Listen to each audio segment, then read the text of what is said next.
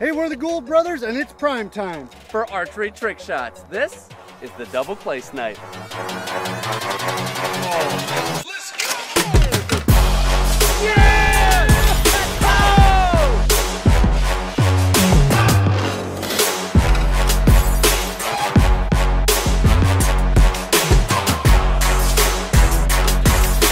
This is the Cab Crusher.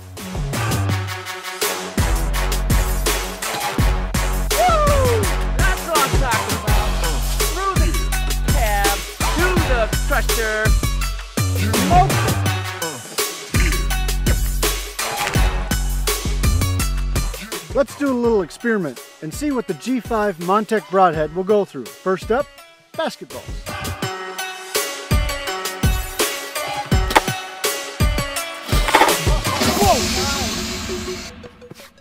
That one's One. flat. Two, three. Oh, oh, you found it. Six through five. Stopped in the sixth one. Next up, the G5 Montec Broadhead versus Baby Watermelon. Go check it out. Right through the center. Oh, You got one down. Through two, three, four, five. into the sixth one. There you Nice have it. Over the river and through the woods, into the Bears Vitals we go.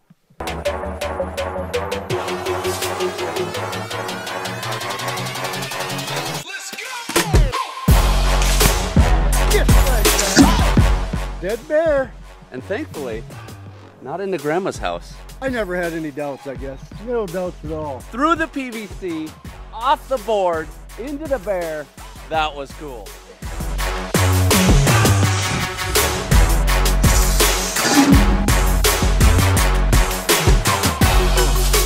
Look at that, right into the vitals. Perfect shot. Dead bear. Now let's try the G5 Montec Broadhead against some Sody Pop.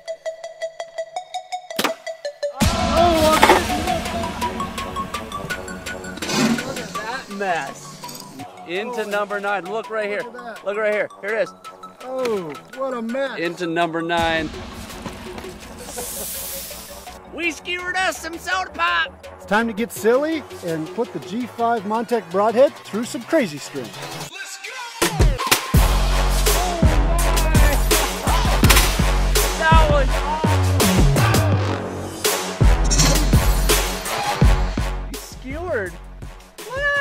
Look at that. You skewered like every can except for one. Failure. Two, Two. two. Pretty good. It did go into the target that time. nice. So we were having a discussion. How many sheets of 29 gauge steel will the G5 Montec go through? Let's find out.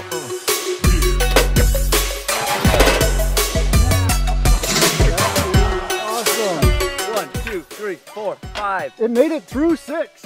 Partially through number six. Lots of sharp things. that might be a permanent fixture right there, Steve. For many years, skilled archers worked on their craft shooting bow and arrow from horseback.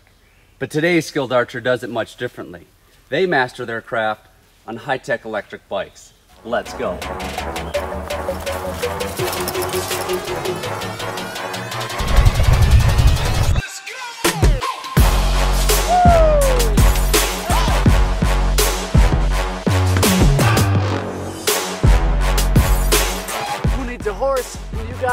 Bike and a bow?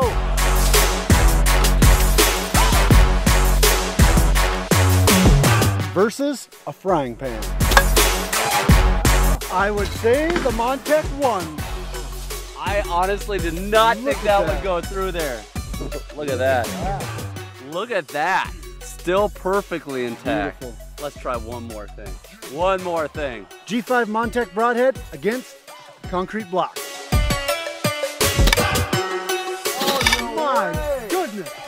Actually stick into the block? It- It partially went into the block.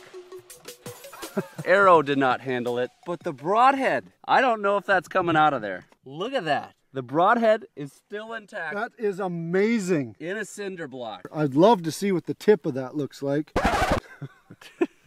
and you had to wreck it.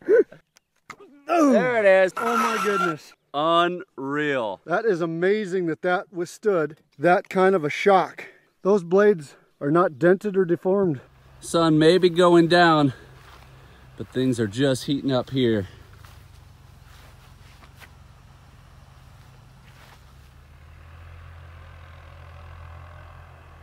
Here it is, the end of the day. We're in the dark and we're bringing you a world record 500 yards with a compound bow.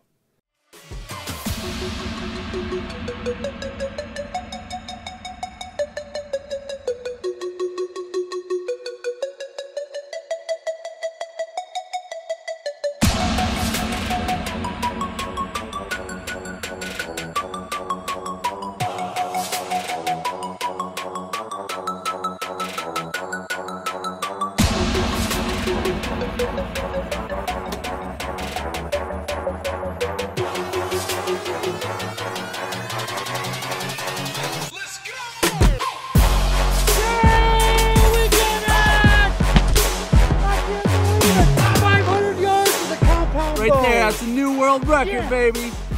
in the dark. You Beautiful can see that hit. arrow going all the way. Nailed the balloon. Got it done. Yeah, super excited. Yeah. There it is, right there, 500 yards with a compound bow. Shooting the CT5, 80 plus pound draw weight. Nice job, Aaron. It's an incredible shot. That is so awesome.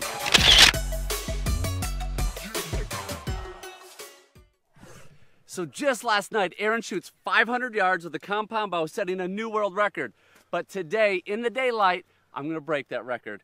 Stepping it back to 505 yards right here. Let's launch it. What's the matter, Steve? Get Almost got it. Back? Okay. back. All right. Well, maybe not today. I'm going to work on that one, but I'll be back. That I guarantee.